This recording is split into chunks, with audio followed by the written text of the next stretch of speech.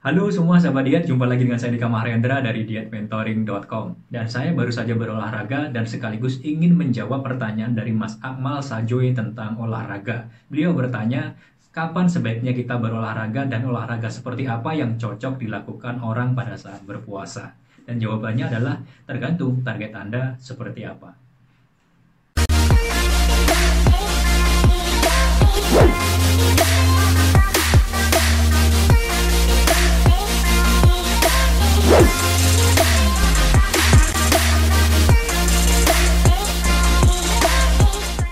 Sahabat-sahabat sekalian, tidurnya orang berpuasa itu berpahala, tapi bukan alasan untuk membuat Anda bermalas-malasan. Karena itu, berolahraga menjadi penting dan bisa bermanfaat untuk Anda. Cuma permasalahannya, kapan sebaiknya kita berolahraga kalau kita sedang berpuasa, dan olahraga apa yang cocok untuk Anda yang sedang berpuasa. Karena itu ada dua poin yang akan kita bahas. Pertama, soal kapan waktunya, dan yang kedua, soal apa yang sebaiknya dilakukan pada saat berolahraga.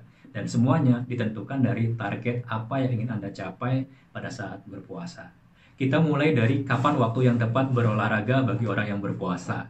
Kalau kita tanya kapan waktu yang tepat, maka jawabannya adalah pada saat pagi hari dan pada saat menjelang berbuka atau pada sore hari. Ini berlaku untuk Anda yang ingin tetap bugar dan juga berlaku untuk Anda yang ingin melakukan diet atau ingin mengurangi berat badan Anda. Jadi sama-sama pagi dan sore hari. Sementara kalau kita berbicara soal olahraga apa yang cocok dilakukan pada saat berpuasa, tentu disesuaikan dengan target Anda selama berpuasa. Kalau target Anda hanya sekedar tetap bugar, tetap fit, tetap bersemangat pada saat berpuasa, maka pada saat pagi hari Anda boleh berolahraga yang sifatnya ringan. Artinya tidak menguras keringat Anda dalam jumlah besar. Karena kalau Anda berkeringat dalam jumlah banyak, itu bisa membuat Anda kehilangan banyak cairan, kehilangan banyak mineral, dan Anda bisa dehidrasi. Padahal Anda tidak bisa minum sebelum berbuka. Karena itu, usahakan hanya olahraga yang mengeluarkan sedikit keringat. Untuk Anda yang ingin menurunkan berat badan atau membakar lemak pada saat berpuasa, juga olahraga pada pagi hari adalah olahraga yang ringan, tidak membuat Anda mengeluarkan banyak keringat. Sementara olahraga pada saat sore hari tentu juga disesuaikan dengan kebutuhan Anda. Kalau Anda tetap ingin uh, fit, tetap bersemangat, maka Anda boleh melakukan olahraga apa pun. Semau Anda, sesuka Anda, tidak masalah. Anda boleh kardio, Anda boleh eh, lari-lari, uh, Anda boleh uh, angkat beban, Anda boleh main dumbbell dan lain sebagainya. Sementara untuk Anda yang ingin membakar lemak dan melakukan fat loss pada saat berpuasa, maka olahraga pada sore hari saya sarankan untuk menghindari kardio. Anda sebaiknya tidak perlu lari-lari di treadmill, tapi langsung main beban.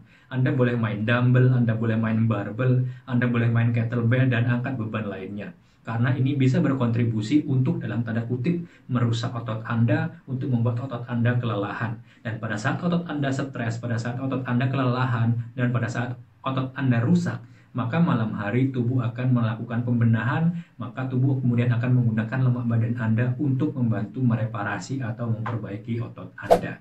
Jadi sekali lagi kalau ditanya kapan sebaiknya kita berolahraga, jawabannya adalah pagi hari dan sore hari menjelang berbuka puasa. Kalau saya biasanya sekitar jam 4 sore, karena di Solo itu bukanya setengah 6. Dan soal olahraga apa yang cocok dilakukan pada saat berpuasa, tentu sesuaikan dengan target Anda. Kalau Anda punya target untuk melakukan penurunan berat badan atau membakar lemak, sebaiknya Anda menghindari olahraga kardio dan langsung main beban saja.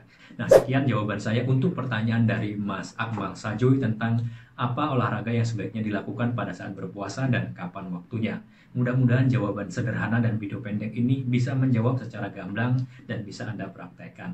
Dan untuk Anda yang ingin bertanya atau ingin request tentang topik apa yang sebaiknya saya bahas di video berikutnya, Anda boleh menuliskannya di kolom komentar. Dan jika channel ini bermanfaat untuk Anda, pastikan Anda melakukan subscribe dan membagikan postingan-postingan ini kepada sahabat-sahabat Anda sehingga banyak orang akan mendapatkan manfaat. Sampai jumpa di video berikutnya. Saya Nika Mahendra. Assalamualaikum warahmatullahi wabarakatuh.